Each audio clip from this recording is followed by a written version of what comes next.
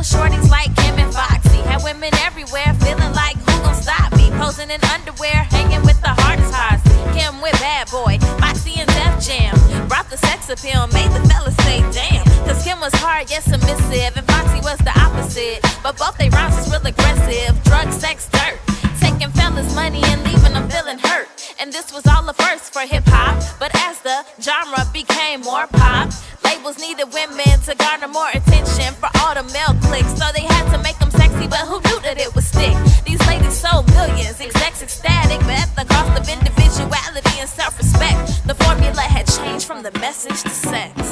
Mm. And you know, this is all. true.